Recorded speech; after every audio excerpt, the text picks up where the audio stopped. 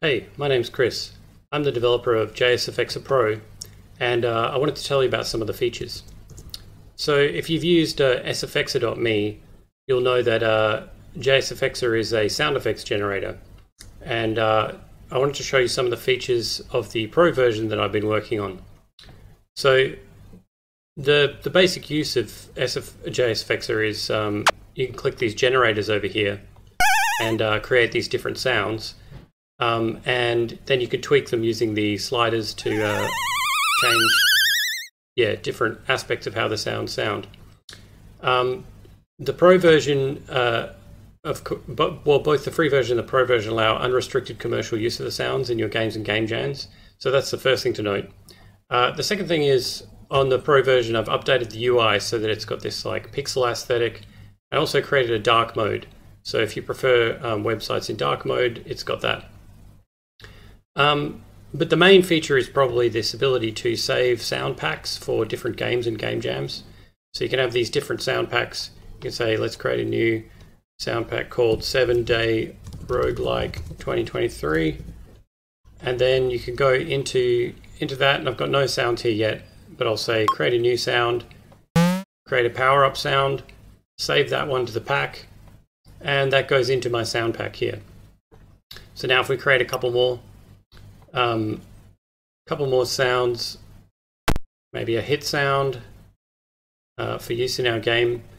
And then you can see that we've got these different sounds uh, in the sound pack and different sound packs. So what you can do from here is download a zip file of all of the sounds that you've created. Um, and that will uh, get them onto your computer and you can use them in a game jam, you know, these WAV files, importing them into Godot or Unity or what have you. Um, and that's quite useful because you can keep everything together in one place. Um, the other thing to note is that these sound packs are synced, so wherever you log into the website, whether it's on a mobile device or on a different laptop or whatever, you'll have access to the sounds that you've created previously.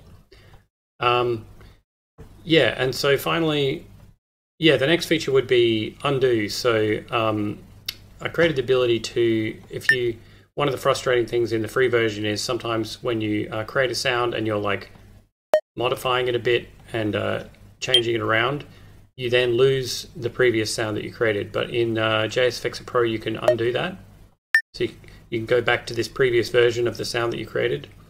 And um, yeah, uh, of course, redo as well. So go to the to the new version that you made. So the final thing to note about jsfxr Pro is uh, it's I don't collect any personal data. So when you sign up, the only thing I collect is your email so that I can log you in.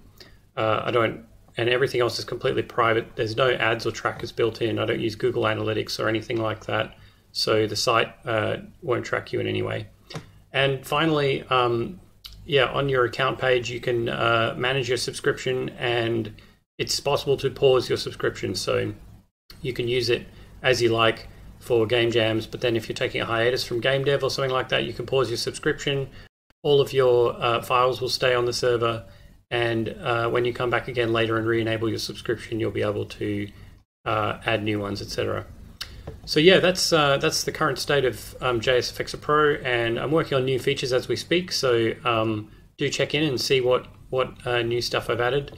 Um, yeah, but have fun using it. Thanks very much for watching.